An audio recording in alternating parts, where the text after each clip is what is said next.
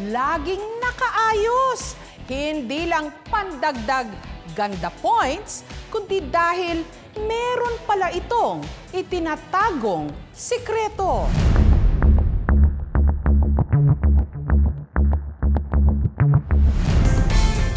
...2022 na. Pero ang style ng buhok ni Malu para pa rin daw noong dekada 80. Guluhin mo na yung buhay ko, wag lang yung bangs ko. I make sure po na maayos talaga.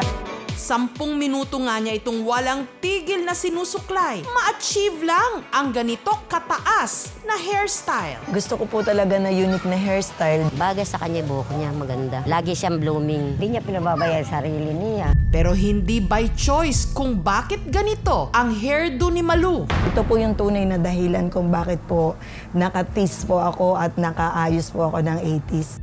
Dahil nga po sa condition ko po na to. Ito po.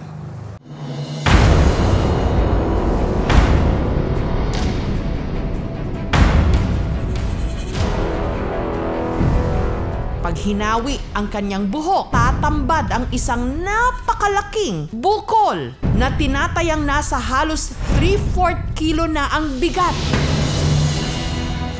Bakit ako sa dami ng, ng tao na hindi naman po ako masama, hindi naman ako salbahe. Yung kaya kong itulong, itutulong ko. Pero bakit nangyari ganito sa akin? Maibabalik pa kaya ng ex-beauty queen ang kanyang dating crowning glory? Dahil sa bigat ng ulo ni Malu, nasasaktan siya tuwing humihiga. Ako, ako. Hindi rin siya makabangon mag-isa. Sakit. Hirap at dahan-dahan kung kumilos. Kahit pa sa pagsusuot ng underwear, hindi na niya magawang mag-isa. Lord, kung di naman ako magiging productive sa buhay ko sa mga anak ko, wag na lang po ako maging pabigat. Kung pong will mo na po na kuhanin ako, iyon po, kunin na lang niya ako. Noon pa man, banidoso raw talaga si Malu pagdating sa kanyang buhok. Para kumapal ito, ginagamitan pa niya ng aloe vera. Dahil sa kanyang long, shiny hair, madalas siyang humahakot ng awards sa beauty contests.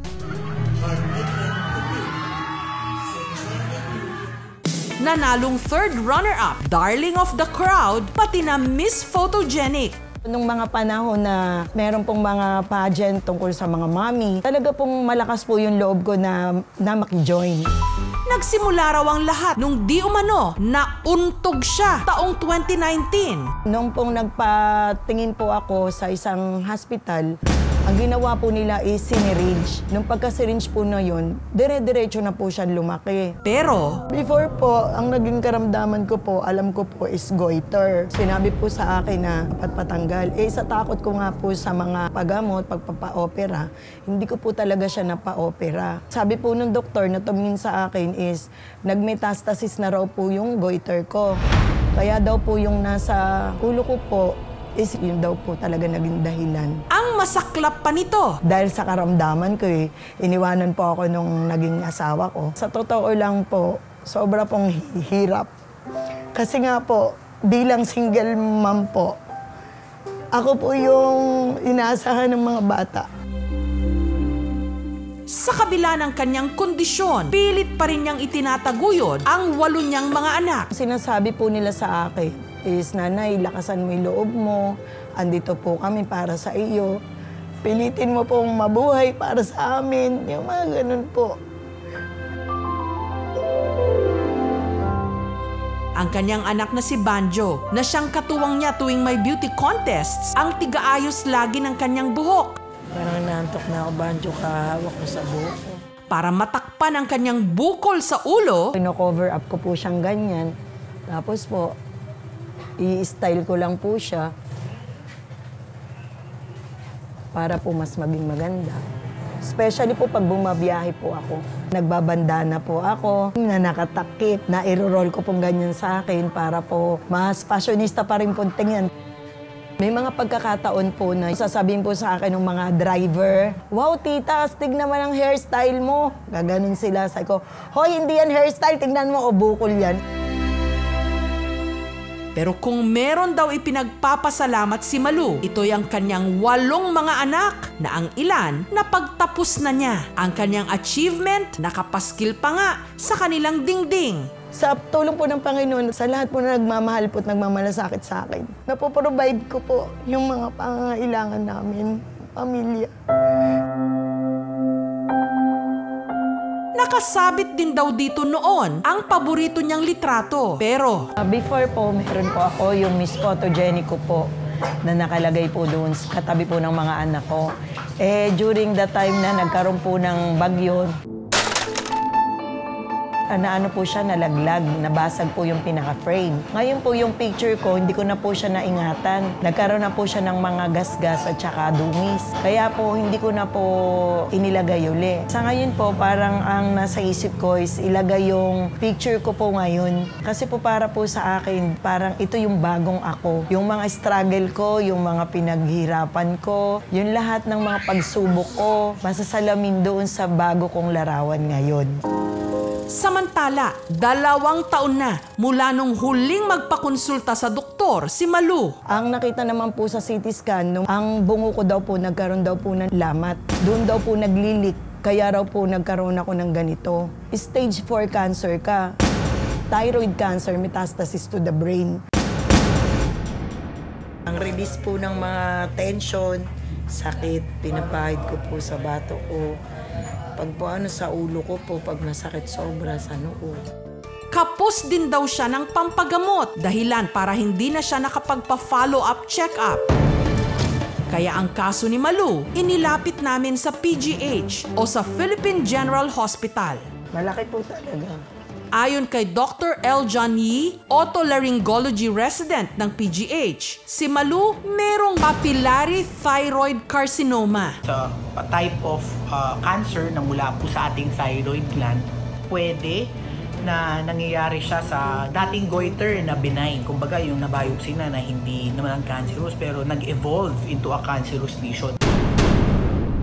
Pagkauntog, kung magi- magiging cancer siya, hindi naman yon talaga ng commonly nangyayari. Yung pagtutusok at paglalaki ng buko dahil sa pagtutusok, medyo, ayun, hindi talaga yun related. Kapag humupa na raw ang mga kaso ng COVID, inirekomenda nila na pumunta si Malu sa PGH ng personal para siya'y matignan. Next few steps ay yung kami yung updated po na workup.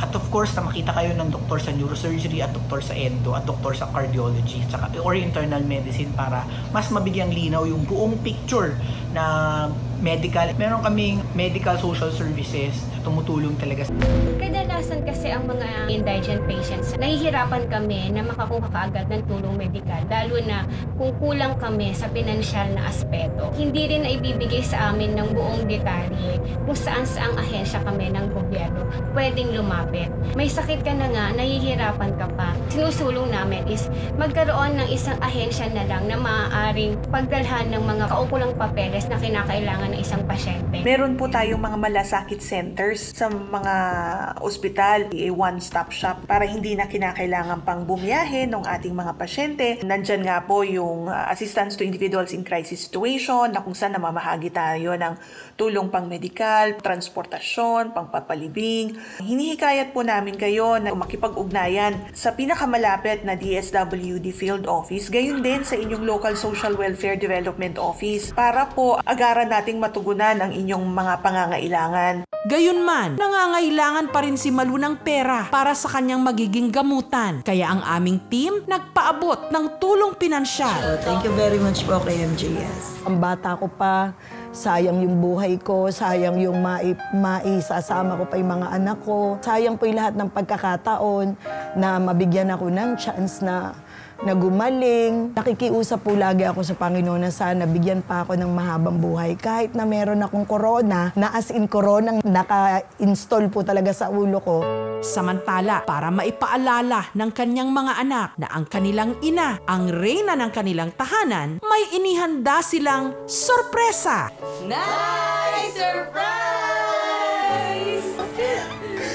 Kaya na, nag-set up kami ng glam team sa pangunan ni Kurt, sa makeup artist, and sa Kuya Eman Bautista, hairstylist natin. Mang, makabawi man lang po kaming mga anak mo sa iyo. Yay!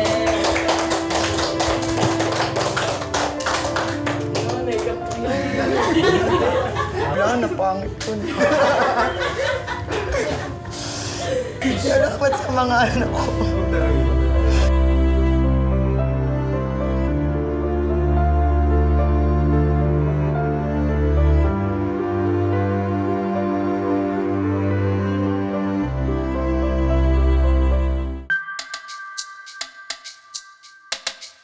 Para makumpleto at may maisabit na litrato si Malu sa dingding na ito ng kanilang bahay,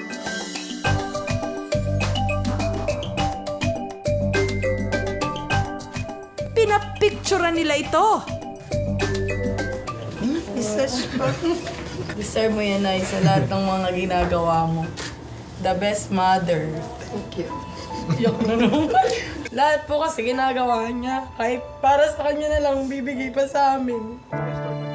Pero ang hindi alam ni Malu, nakakuha rin kami ng kopya ng paborito niyang litrato.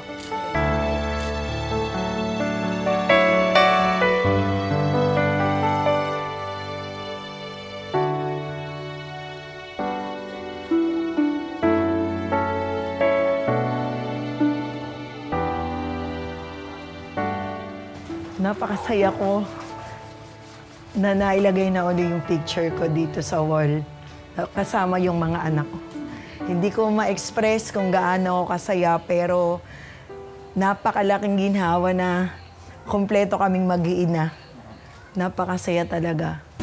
Marami sa atin hindi handa para sa malulubhang sakit. Mabuti na lang at merong mga pampublikong ospital katulad ng PGH na handang sumagot ng kanilang konsultasyon at gamutan. Gayunman, ang mga pasyenteng katulad ni Malu nangangailangan pa rin ng dagdag na tulong pinansyal para sa mas mahabang gamutan sa mga susunod na mamumuno sa ating gobyerno. Sana mas palawakin at palakasin pa ang sektor ng pampublikong kalusugan para sa napakarami nating mga kababayan na nangangailangan ng pag-alalay.